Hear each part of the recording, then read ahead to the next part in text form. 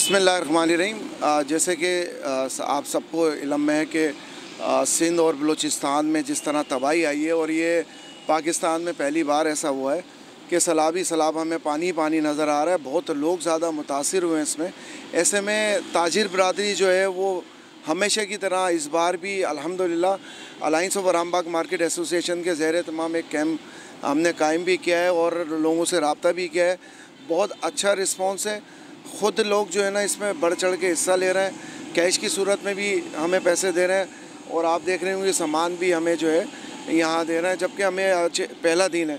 हमने ये तीन से चार रोज़ के लिए ये कैम्प लगाया है और हमें इन उम्मीद है कि हम इस कैम्प से जो है कुछ ना कुछ ज़्यादा से ज़्यादा लोगों की मदद कर सकें।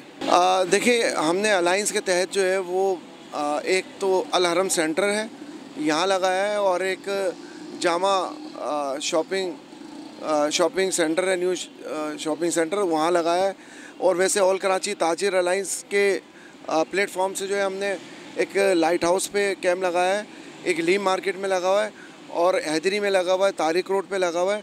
हमने मुख्तलिफ़ जगहों पे जो है हमारी जहाँ जहाँ अलाइंस की मार्केटें हमने वहाँ हर मार्केट के बाहर जो है वो अलहमदिल्ला इन मुतासरीन भाइयों के लिए जो है कैम्प कायम किया है और बहुत अच्छी तादाद में जो है वहाँ सामान भी जमा हो रहा है। सलाह भी इस्लाम मैंने जैसे कहा कि वहाँ कपड़े पहनने को भी नहीं है जूतियाँ भी पाँव में नहीं है लोगों के खाने पीने का इंतज़ाम नहीं है। तो हमने ऐसे में आ, कुछ नए सूट्स भी जो है हमने यहाँ कल ख़रीदे और इसमें आ, ऐसे नहीं है कि पुराने कपड़े हमने लिए नहीं हमने उन अपने मुतासरी भाइयों के लिए। ये सब नए सूट्स लिए आप देख सकते हैं, फैंसी, हर टाइप के सूट जो है ना हमने ये परचेज़ किए ताकि ऐसा नहीं है कि हम अपने घरों से पुराने कपड़े उनको भेज रहे हैं, नहीं, ऐसा नहीं हमने खजूर भी लिए यहाँ बिस्किट भी लिए जूस भी लिए दूध भी लिया है। हमने हर तरह के आइटम्स रखे हैं। पानी की बोतल्स ये देख रहे हैं आप, सारे कार्टन्स सारे पानी के हैं। तो अल्हम्दुलिल्लाह हमारी पूरी कोशिश है, मेरी अल्लाह वाला मार्केट अल्हम्दुलिल्लाह मेरे पूरे साथ है। जिस तरह सैलाब आया हुआ है पूरे पाकिस्तान में, हमें बहुत अफसोस है। और लोग माशाल्लाह इमदाद दे रहे हैं। यहाँ पे हमने कैंप लगा, अल्लाह वाला मार्केट का और हारलैंस का हमने कैंप लगाया हुआ है। तो यहाँ पे लोग माशाल्लाह बहुत सारा इमदाद दे रहे हैं। और हम इंशाल्लाह पहुँचाएँगे बलूचिस्तान में और सिंध में और खैबर पख्तूनख्वा में सब जगह पहुँचाएँगे इन ताला। मैं सारे मुसलमानों से और सारे पाकिस्तानियों से मैं ये अपील करता हूँ कि बढ़ चढ़ के हिस्सा ले इसमें और इमदाद दे। क्योंकि ये हमारे मुल्क का सवाल है, पूरे मुल्क में जो है ना परेशानी है।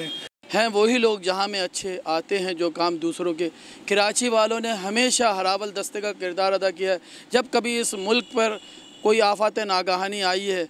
अल्हम्दुलिल्लाह, जब भी इनको पुकारा गया, इन्होंने आमना सदकना, जेब से, हाथों से, पैरों से, जिस तरीके से मदद हो सकती है, हालाँकि इस टाइम पे ज़ख्मी ज़ख्मी है कराची, लेकिन इसके बावजूद कराची वालों ने अपना दिल बड़ा किया और अपने भाइयों की इस तकलीफ़ की घड़ी में न सिर्फ़ ये कि भरपूर तरीके से ताउन किया, इसी चीज़ को मद्देनज़र रखते हुए चूँकि वज़ी अजम ने भी ऐलान किया फ़ंड का और हमारे चीफ़ ऑफ़ आर्मी स्टाफ ने भी ऐलान किया कि मुखैर हजरात तो हमने भी उसी चीज़ को देखते हुए अपने अलाइंस ऑफ़ आराम बाग मार्केट एसोसिएशन के तहत ये एक कैंप सैलाबजदागान की इमदाद के लिए लगाया और बड़ी खुशी हुई जब तमाम ताजिर बिरादरी ने लब्बैक का और ये मुख्तलिफ़ किस्म के सामान और नकदी की सूरत में यहाँ पर जोक दर जोक आना शुरू हुए।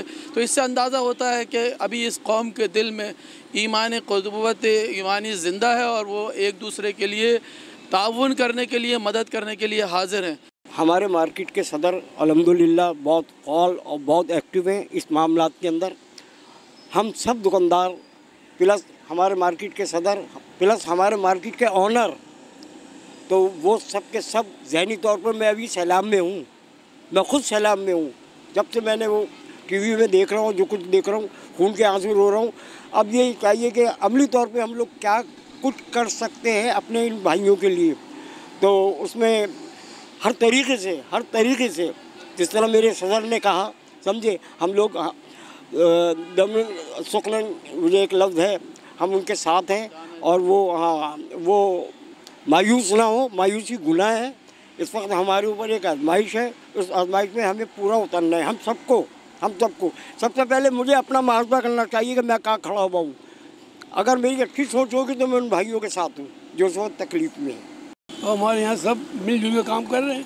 सिला के लिए हम फंड जमा कर रहे हैं। अल्लाह पाक हमें कामयाबी अदा करें। और हम इस काम के लिए बढ़ चढ़ कर हिस्सा लेने की कोशिश कर रहे हैं। हमें आपको हम सबकी मदद चाहिए देखें जी, मुझे तो बड़ी खुशी हो रही है आके यहाँ पर और आसिफ गुलफाम और उसकी जो टीम है, उनका जज्बा देखकर, क्योंकि ऐसे कामों में हमेशा ये आगे आगे रहते हैं। फ़िलहाल कामों के अंदर कोई तूफ़ान आए, बारिशें आ जाती हैं, पहले जलजले आए तो सबसे आगे आसिफ साहब हमेशा होते हैं और इनकी जो टीम है या इनके जो कारोबारी हजरात हैं यहाँ पर, वो बढ़ चढ़ के हिस्सा लेते हैं। तो ये इन चीज़ का सबूत है कि इनके पास दर्द दिल है, लोगों के जो गरीबों की परेशानी इनके जहन में है, क्योंकि इनको एहसास है कि हम तो कारोबार करें लेकिन जो गरीब लोग हैं, जिनके कुछ नहीं है, और वो जो थोड़ा बहुत माल मवेशी थे, वो भी अगर डूब जाए, मर गए या सामान घर गिर गए तो उनके लिए करना इनका जज्बा रहा है। तो वो आपके सामने है इनका काम करने का अंदाज़ और लोगों का रिटर्न इनको कैसा है, वो भी आप देखें। तो बड़ी खुशी की बात है और अल्लाह इनको कायम उदायम रखे। इस जज्बे को, इनके इस टीम को अल्लाह हिम्मत दे कि इसी तरह लोगों की खिदमत करें और मुल्क की खिदमत करें। शुक्रिया अदा करना चाहूँगा एस एच ओ आराम बाग साहब का। आज़म भाई, जब से इस थाने में आए हैं, अल्हम्दुलिल्लाह यहाँ के ताजिर बरदरी बहुत खुश हैं इनसे। ये आज इस कैंप पे भी मौजूद हैं अपनी, अपना हिस्सा डालने के लिए। तो ये बड़ी खुशी की बात है। यहाँ ताजिर बरदरी सिर्फ़ अल्लाह वाला मार्केट नहीं, मेरी अलाइंस ऑफ़ आरामबाग के अतराफ़ की जितनी भी मार्केट हैं, ये सबसे इसी तरह मोहब्बत से मिलते हैं और जाते हैं जिसके भी जो मसाइल हैं वो हल भी करते हैं तो जब से ये आए हैं अलहमदिल्ला इस इलाके में वारदातें ना होने के बराबर हैं। और मैं आपको यकीन के साथ कहता हूँ 2021 ये पहला रमज़ान था 2022-2021 जिसमें एक वारदात नहीं हुई रमज़ान में, रातों को तीन तीन चार चार बजे तक ये हमारे साथ यहाँ एस एच ओ साहब बैठे रहे हैं इसी कैंप पे। आ, हमने रात रात भर मार्केटें खोल के कारोबार किया यहाँ।